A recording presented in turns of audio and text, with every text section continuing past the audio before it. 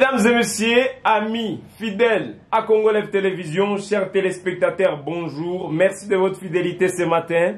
Nous venons encore une fois de plus sur Congo Live TV pour en parler de la situation sécuritaire dans l'est du pays.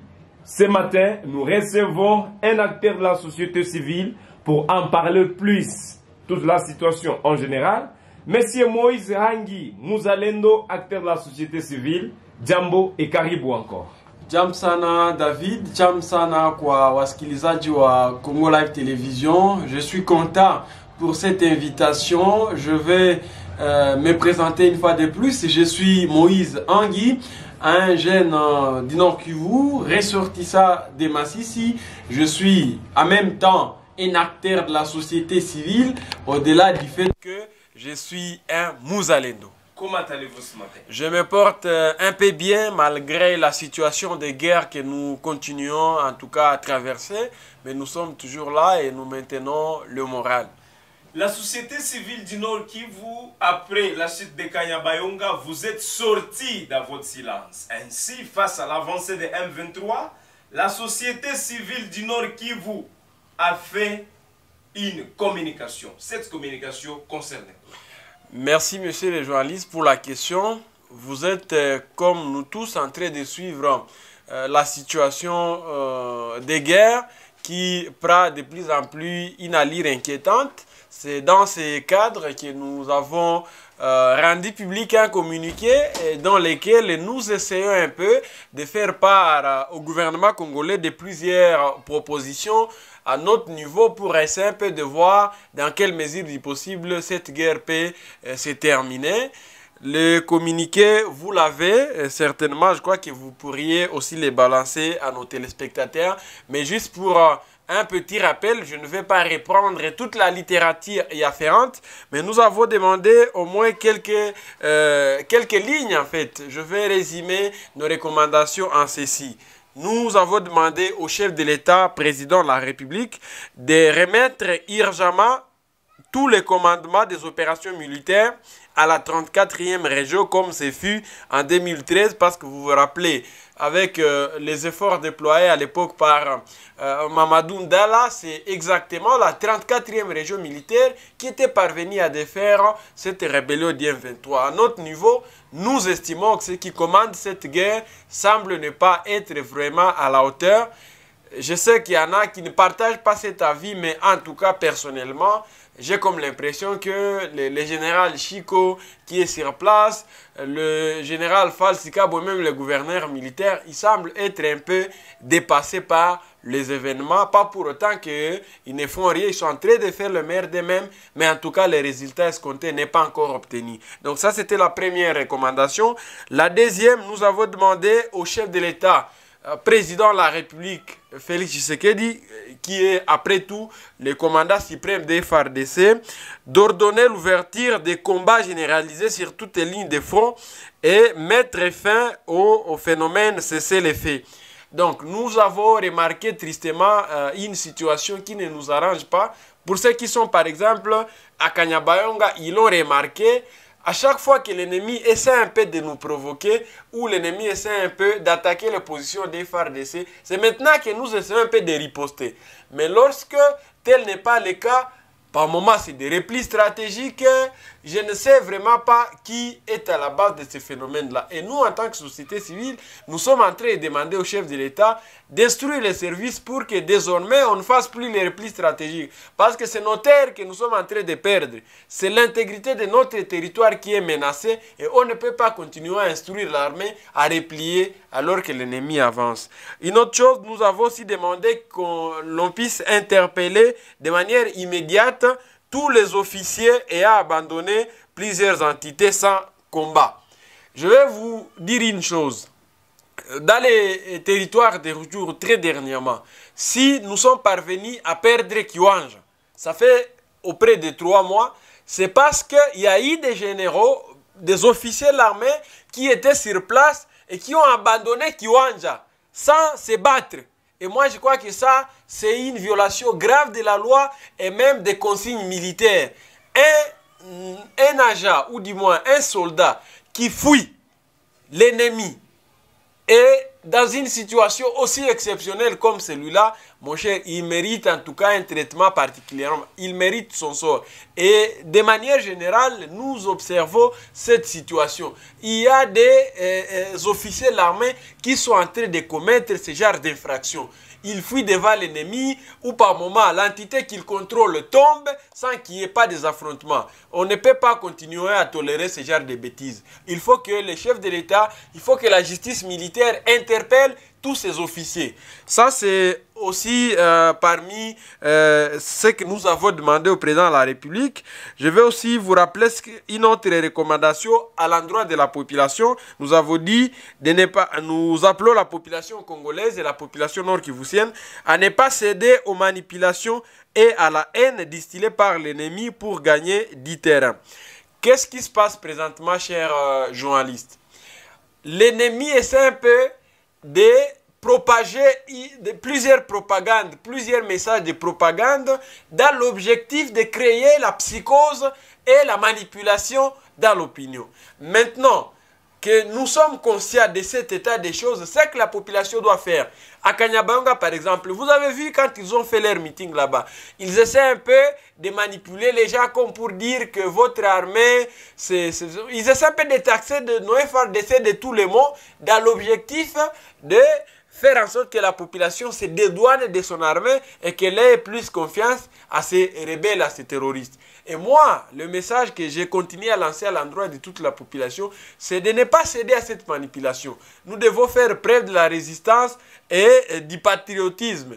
Aucun Congolais digne de son nom ne peut se ranger derrière l'ennemi. Donc, chers compatriotes, ne cédez pas aux propagandes, ne cédez pas à la manipulation de l'ennemi. Je parle ici de la coalition RDF M23 AFC qui ne gire qu'à manipuler euh, tout le monde pour qu'enfin euh, notre armée soit diabolisée et qu'on sort. Je n'ai pas l'impression aussi de quelqu'un qui se transforme en porte-parole de l'armée, mais je vais juste vous dire que c'est notre armée à nous. Quelles que soient les difficultés qui sont euh, la nous devons reconnaître que ce sont nos fils et filles qui sont en train de se battre pour que nos territoires puissent ne pas être balkanisés. Maintenant que l'ennemi tente aussi de nous contourner, soyons conséquents et soyons vigilants. Enfin, une autre revendication une autre proposition que nous avons donnée au chef de l'État en tant que commandant suprême, au ministre de la Défense et même au chef d'état-major général, c'est d'allouer une logistique, une logistique conséquente et euh, nécessaire au FRDC, suivie par un contrôle. Parce que nous avons remarqué qu'il y a des moments où Kinshasa débloque des fonds, beaucoup de moyens pour soutenir l'armée, pour que l'armée monte en puissance. Mais ici, au niveau de la province, il y a de la mafia. Il y a en fait des détournements de ces derniers publics, les détournements des soldes de nos militaires, de nos vaillants FARDC. Voilà pourquoi il y a en tout cas lieu d'inspecter euh, euh, tout euh, ce travail-là lorsqu'il y a des fonds qui sont débloqués pour permettre à l'armée de fournir les meilleurs d'elle-même, il faut que Kinshasa se rassure de la transparence et de la traçabilité de cet argent.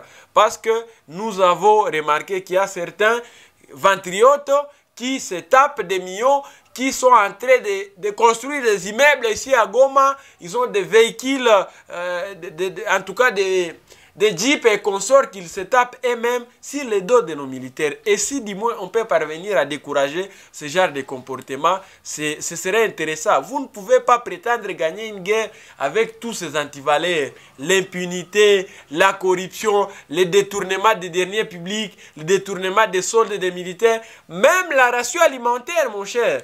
Dernièrement, je suis parti au Kakatindo. J'ai été stupéfait d'un témoignage que j'ai réussi de la part des militaires qui a dit qu'il a euh, été surpris de voir les responsables de leur bataillon. On avait envoyé, euh, on avait envoyé chaque militaire devrait recevoir trois sacs de riz et deux sacs de farine.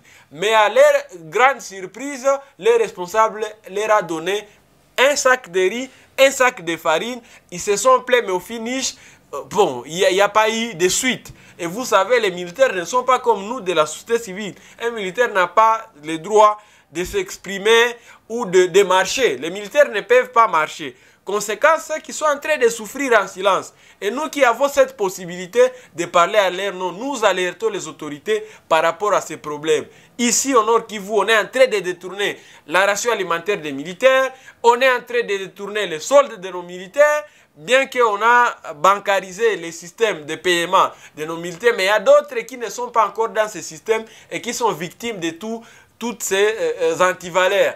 Ça, c'est exactement quelque chose qui doit être repensé et retravaillé si, du moins, nous voulons mettre fin à cette guerre. Au-delà de ces quelques propositions qui rentrent dans l'aspect interne au niveau national, nous avons aussi parlé de la nécessité pour le gouvernement d'activer sa diplomatie pour essayer un peu de coincer euh, l'ennemi de la République démocratique du Congo, les agresseurs, à l'occurrence du Rwanda et de l'Ouganda. Je parle bien de l'Ouganda. Je pense qu'il faut aujourd'hui aussi que nous puissions arrêter de faire cette politique d'hypocrisie. Et, ça, c'est exactement un constat que j'ai fait personnellement. On essaie un peu simplement de taxer les Rwandais alors que nous sommes victimes d'une guerre d'agression rwandaise et ougandaise. C'est clair.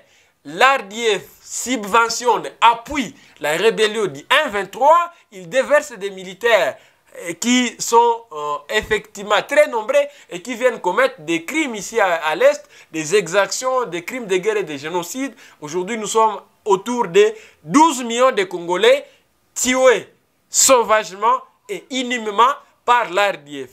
Dans le Grand Nord, maintenant, il faut parler de, de l'Ouganda, Justement parce que depuis euh, autour de 2014, c'est des terroristes qui sèment terreur et désolation. Donc il faut essayer un peu de revoir notre narratif par rapport aussi à, nos agresseurs.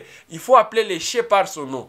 L'Ouganda nous agresse, les Rwandais nous agressent, et euh, les Kenyans complotent contre nous. Vous avez suivi les dernières déclarations du président William Ruto. Nos propositions à l'endroit du chef de l'État, président de la République, par rapport à l'aspect diplomatique, c'est en tout cas de travailler euh, de manière en sorte que l'on puisse aussi coincer diplomatiquement tous ces États agresseurs, tous ces petits États voyous qui continuent à nous mettre mal à l'aise.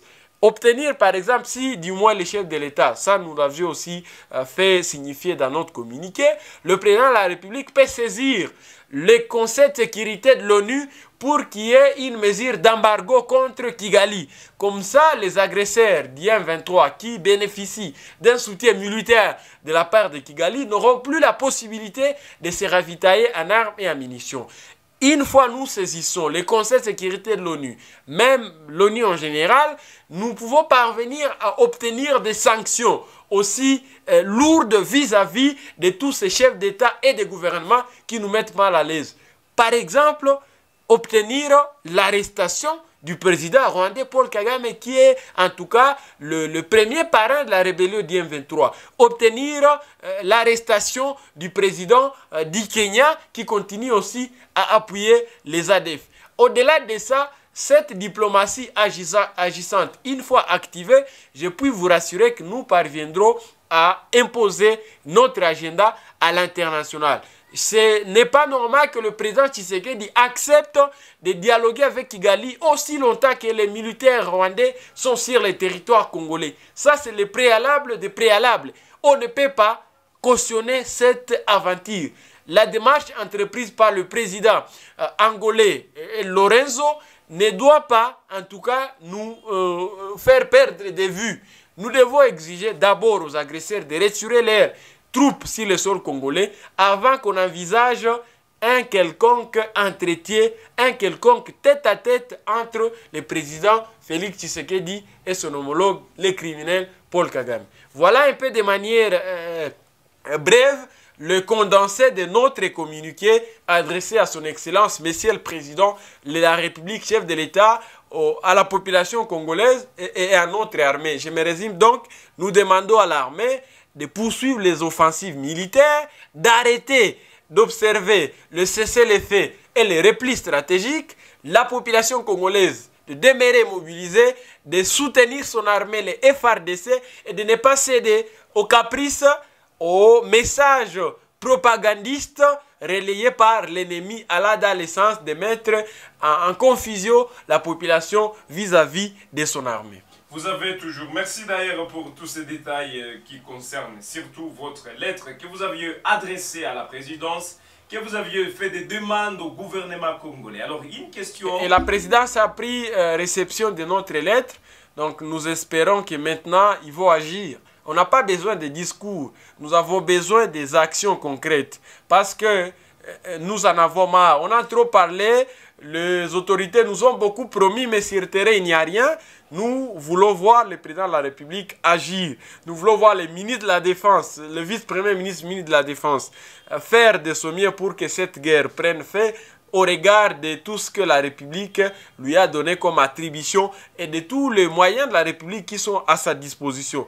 Nous voulons voir le général Chico Chitambwe, mon général, on vous a déployé dans les grands nord parce qu'on a confiance en vous. Les chefs de l'État a confiance en votre modeste personne.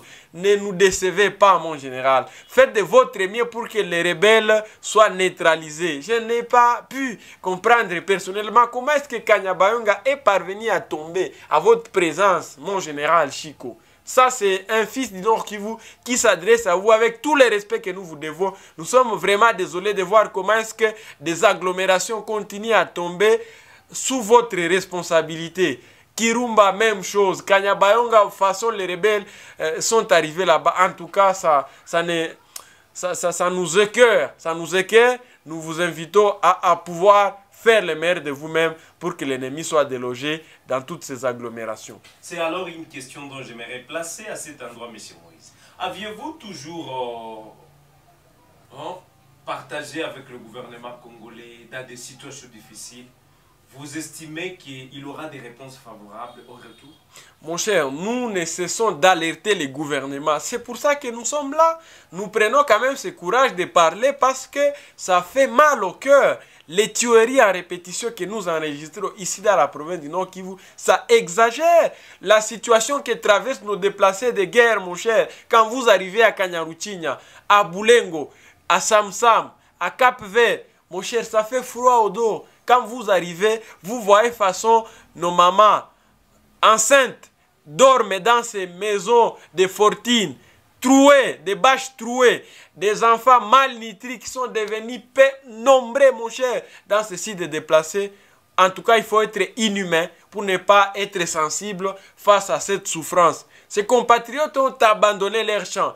Ils ont abandonné des vaches, des chèvres, et, tout ce qui leur était, en tout cas, nécessaire. Ils ont fui les affrontements. Aujourd'hui, ils souffrent énormément ici dans la ville. Le gouvernement ne sera pas en mesure de satisfaire à cette demande. C'est très forte.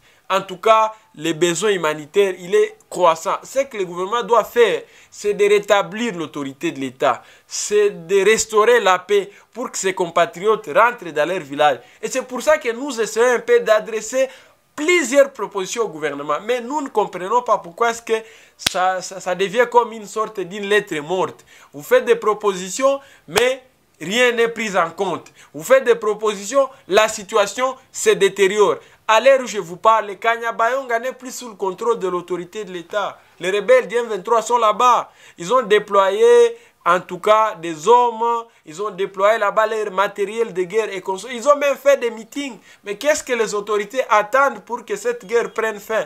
Est-ce que le président de la République veut que nous puissions tous mourir pour qu'il trouve la solution à cette guerre?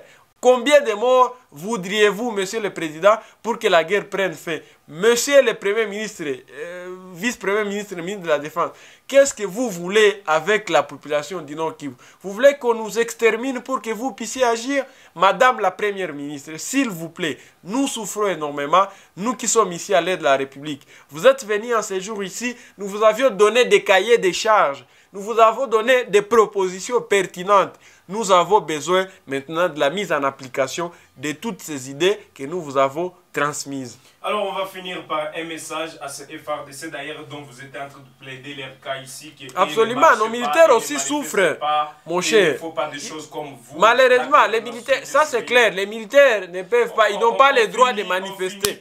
Les militaires, en fait, il y a ce qu'on appelle la discipline militaire. C'est qu'un militaire, il ne peut pas se plaindre comme moi, civil. Mais à leur place, parce que sans eux, même nous qui sommes à Goma, nous serons déjà ailleurs. On aurait pu fuir cette ville. Mais c'est justement parce que nos vaillants militaires, nos jeunes résistants Ouazalais, nos volontaires, les volontaires engagés pour la défense de la patrie ont décidé en tout cas de se mobiliser. Et c'est pour ça que nous continuons à respirer euh, jusqu'à présent. Mais de retour, qu'est-ce qu'on doit faire pour cette armée? C'est de travailler sur les conditions de vie de ces hommes. C'est des humains comme nous, c'est des pères de famille, ils ont des femmes, ils ont des enfants. Et quand vous ne leur donnez rien, vous voulez qu'ils vous donnent des retours quoi? Ces militaires souffrent. Quand vous arrivez dans plusieurs cas de déplacer, de déplacer dans les cas militaires, c'est là que vous vous sentez que ça ne va pas dans ces pays. Il y a une forme d'injustice. Et nos militaires, c'est dans des bâches, et nos déplacés de guerre, c'est dans des bâches trouées, mais les, les autorités politiques, politico-administratives, mais c'est dans des hôtels, c'est dans des buildings, c'est dans des immeubles, en tout cas, euh, euh, euh des classes ici à Goma. Et, et ça, est-ce que vous pensez vraiment que ça, que ça, mon cher, le, mal est profond. Le mal est profond. Moi, j'ai envie en tout cas, et j'espère que les autorités nous entendent, que ça change. Il faut vraiment que ça change. Il faut que les autorités agissent. Il faut que cette guerre prenne fin.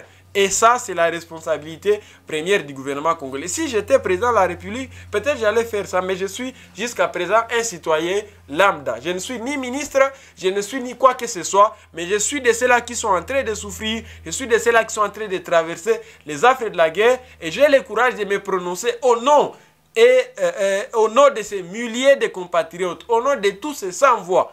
Je me porte comme la voix des sans-voix et je pense que tout le monde nous suit. Je voudrais finir cette émission par un message à l'endroit de tous nos compatriotes de la diaspora. Chers compatriotes, au-delà des discours, au-delà de tout ce qu'on peut faire comme déclaration, il y a un besoin immédiat. C'est lui d'assister nos compatriotes déplacés de guerre qui sont euh, ici à travers la ville de Goma, aux environs de Goma. Kanyarutinya, Boulengo et consorts.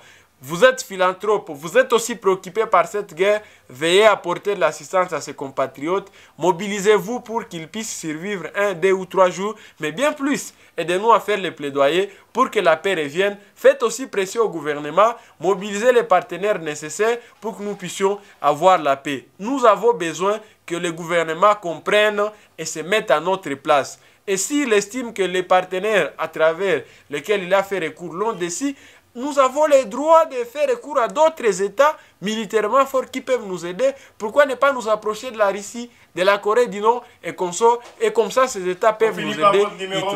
Je suis disponible sur le plus 243 99 25 42 946. Je réitère le même numéro à retrouver sur WhatsApp plus 243 99 25 42 946. Inch'Allah.